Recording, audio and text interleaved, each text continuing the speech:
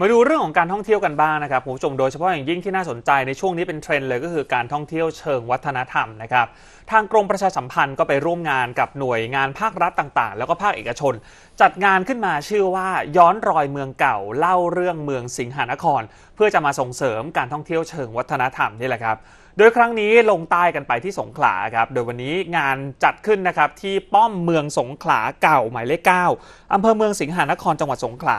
ทางสำนักประชาสัมพันธ์เขต 6 กรมประชาสัมพันธ์ ก็ร่วมกับองค์การบริหารส่วนจังหวัดสงขลา เทศบาลเมืองสิงหานครสำนักศิลปากรที่ 11 สงขลา ฐานทัพเรือสงขลา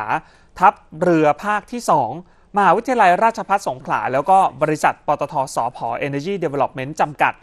จัดงานที่ชื่อว่าย้อนรอยเมืองเก่าเล่าเรื่องเมืองสิงหานคร เพื่อจะส่งเสริมการท่องเที่ยวเชิงวัฒนธรรมจังหวัดสงขลา ควบคู่ไปกับการสร้างความตระหนักรู้ให้ประชาชนชาวสงขลา เกิดความรักหวงแหน ร่วมกันอนุรักษ์มรดกทางวัฒนธรรม ที่บรรพบุรุษสั่งสมไว้นะครับซึ่งประธานเปิดงานในวันนี้ก็คือพลโทสันเสริญแก้วกำเนิดอธิบดีกรมประชาสัมพันธ์ครับ ท่านก็บอกว่า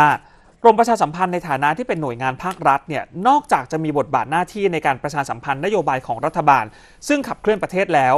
ยังต้องเผยแพร่เรื่องราวด้านวัฒนธรรมประเพณี และความผูกพันของคนไทยตั้งแต่อดีตจนถึงปัจจุบัน ให้เยาวชนคนรุ่นหลังได้รับรู้ ได้เกิดความรักความสามัคคีและเกิดความหวงแหนบ้านเกิดของตนเองด้วย ลองฟังเสียงอธิบดีดูครับ รู้สึกขนลุก และมีความรู้สึกว่าอิฐเก่าทุกก้อนมีตำนาน ทุกพื้นที่มีจิตวิญญาณมีประวัติศาสตร์ มีความร่วมมือ มีความเข้มแข็ง ทุกคนมีความรู้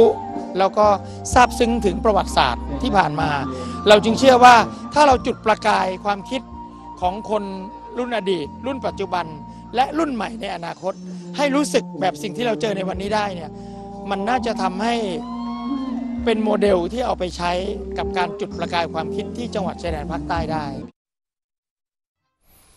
ในงานเนี้นะครับนอกจากจะมีการแสดงแสงสีเสียง ชื่อว่าย้อนรอยเมืองเก่าเล่าเรื่องเมืองสิงหานคร ที่ถ่ายทอดประวัติศาสตร์ของเมืองสงขลาตั้งแต่สมัยกรุงศรีอยุธยาจนถึงปัจจุบัน ผ่านฝีมือของนักแสดงกว่า 60 ชีวิต จากมหาวิทยาลัยราชภัฏสงขลาแล้ว ก็มีการแสดงขับร้องเพลงจากศิลปินคนสงขลาการแสดงดนตรีจากวงดนตรีฐานทัพเรือ มีการเสวนาให้ความรู้เกี่ยวกับประวัติความเป็นมาและความสำคัญของเมืองสงขลา